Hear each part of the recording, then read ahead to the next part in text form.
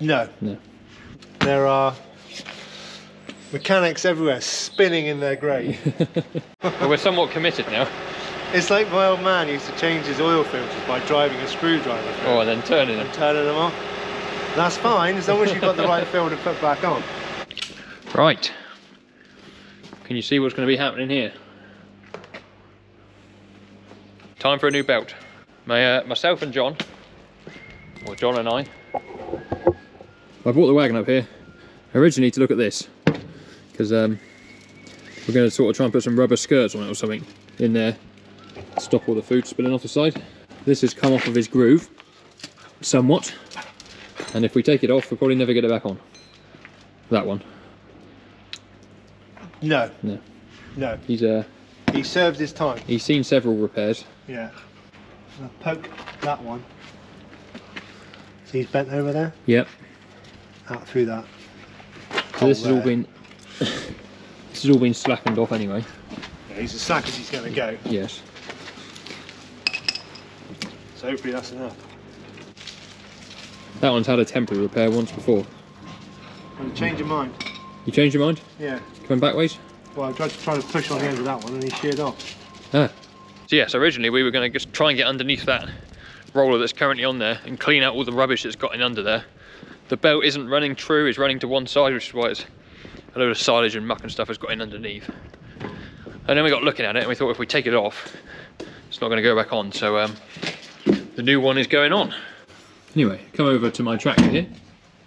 I have my own set of pliers.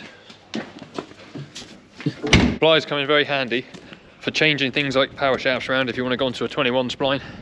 Take off the circlips uh, and for cutting bits of wire if you get hanged up and stuff and various things. So that is why I carry my own set of pliers. They're only a tenner off Amazon or something, only cheap ones. But um, carry my own in the tractor. It's even got a cutting disc on it. That God, it was meant to be. Right, so John has taken this right off now. So when you want to tension it up, use these bolts. To wind this round so he's looking the right way. And they thread into there. And it pulls it in and out. That's how you set your tension. So this is a slack. These all droopy underneath. Slack as you can make it now. And there's a rod that goes down the middle of here between the two sets of teeth. That's what holds the belt together. Um, and so that's what we're trying to get out, but it's snapped a couple times whilst we're trying to get it out. Yeah, there's a set of new teeth. You put the two lots of teeth together, put the rod down through. You can see this has had a repair done at some point. Um, but we got that back in the middle now because he was running off centre. You can see where he's been running. And he's back back along where he should be. Makes him easier to push and pull. But yeah, we need to get that guy out in there. For some reason, um, the other end, the other end of that one was an 18, Right. which I cut off, Yes. And the other end of this one was obviously a 19, Right. of the end of the ring spanner. Eh? and he had, But he was that shape. yeah, so he wasn't doing anything good. No, he was doing absolute bugger all. So You I made a good 19. Two good ones out of one. Yeah. There are mechanics everywhere spinning in their grave because they're struggling to get this pin out. yes. that holds all that in. But if you look, Oh, it's worn notches into worn notches into it, so that he probably sat in those tiny little notches and not letting himself out. And looking at that, Josh, he wouldn't have lasted much longer without him going bang Probably on a Sunday. on a Sunday. Yeah. Always a Sunday. We have repaired this once on a Sunday. We have. Yeah. Me and Phil, wasn't it? Yeah, we sent him to Holsworthy for some Yeah. parts, didn't we? So yeah, cut mm. out job I think. Yeah. Onwards. Yeah. Let's do it. Let's do it.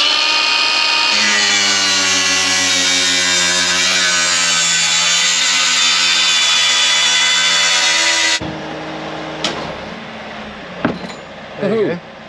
That was creating all the dimples on your roller. Look at all that rubbish. I don't know if the camera picked it up. John just said, what if this new belt here isn't the right one? But we're somewhat committed now. It's like my old man used to change his oil filters by driving a screwdriver through Oh, and then turning them. and turning them off. That's fine as long as you've got the right filter put back on. Hang on.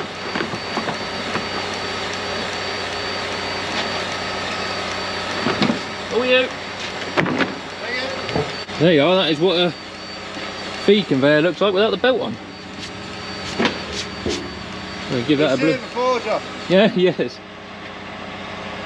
Clean all this up a minute once it's off.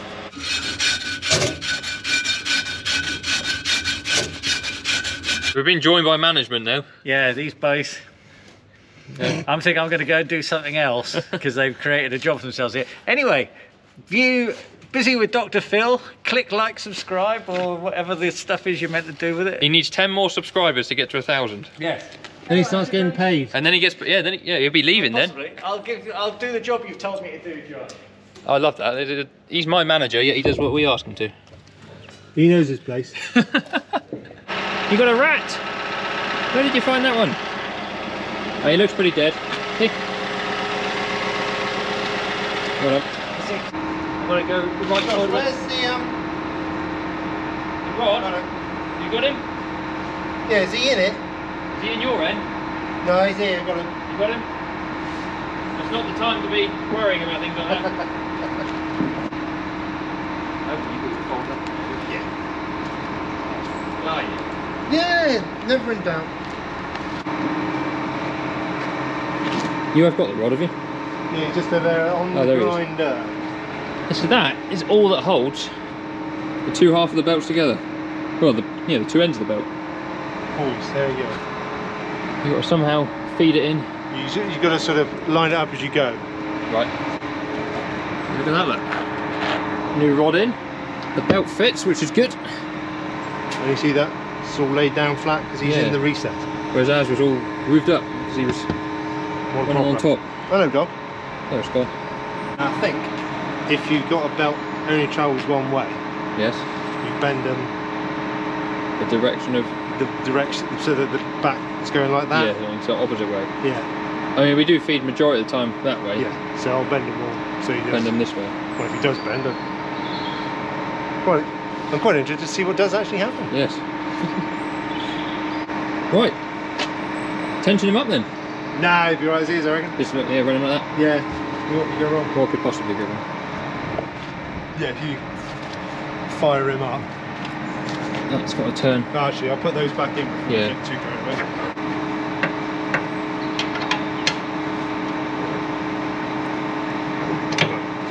One side on.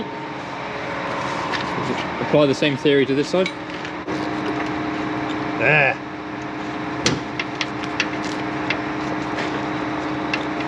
Beauty. It's got him.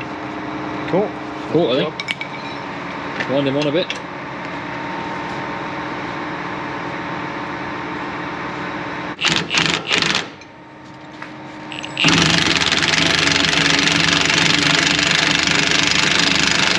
Out there. Yeah. You can um, What do you reckon? thought, oh, he feels tight. but there's a metal plate on There is a metal plate on there. He does feel quite tight. Are they about the same? Because if we, Uh, they need to be about the same, otherwise they're the tip of the bolt is just through the casket. Yeah. Through the roller. I've got about one thread maybe. Yeah, yeah, yeah, probably, yeah, probably about the same. That's right. So then do we tighten that? No, you run them up Run him up. because if he, if there's some discrepancy in the belt and he pulls one side, Oh, I see. you'll um, then. have to go tighter one side than the other. Run him up. Turn you off before we get a copyright strike. That is the bed in gear. Slow as he goes.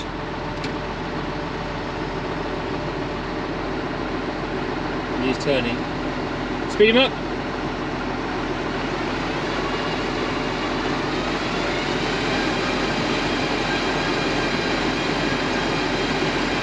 Don't get too close. He's wobbling in and out. Yeah, but I don't. I think that's the, what, what he'll do all the time. I think he's getting Is that just because the thing might not be cut straight? potentially. It's probably more like our. He's on a bit of an angle.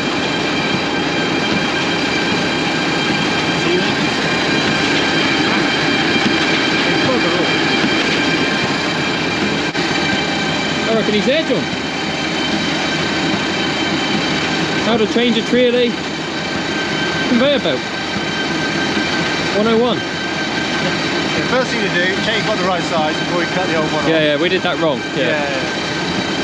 We were completely balls to the wall. Let's cut this one off and then see if our new one fits. We got a bit lucky there. Man from Del Monte says turn him off. I can only call that a raving success. So far. Do a couple loads with it, then you can say it's. When it falls off in a minute when we feed the sheep. Yeah. Look at that lovely join there. Cool. Right, I'm just going to get in and give this thing a sweep out whilst we're up by the workshop. The key is out of the tractor. Don't worry, there's no way anyone can mince me up. Taking the key out of the ignition. And John knows I'm in here as well, so it's all safe. Inside of a feeder wagon, if anyone's never seen one. Got these blades that cut up the hay and everything. These were new on this year. There are spaces on here you can put more on. Don't know whether we do that at some point or not, but anyway, we've also got magnets here on the back of the rotors. So you can see any bits of metal that end up in this. So there's loads of staples, look, nails, all sorts of stuff. We can clear it all out and take it away, but there's not enough on there to warrant taking off.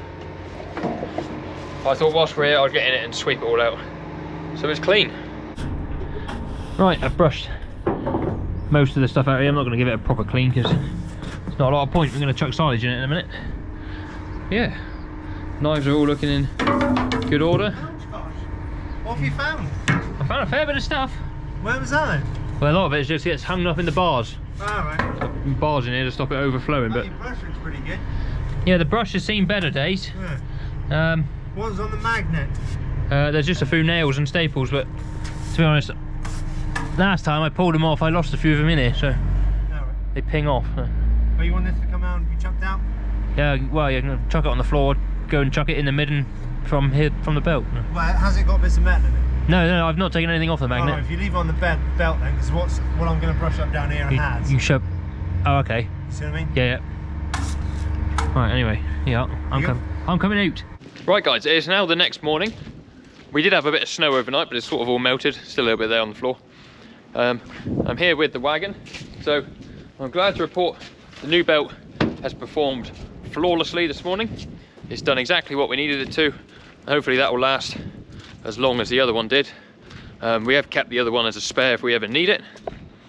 One thing I didn't show you yesterday because we were, sort of took three of us to do it. Um, I don't think I mentioned it on camera at all. Was we had to readjust this, so you can see this belt doesn't run true.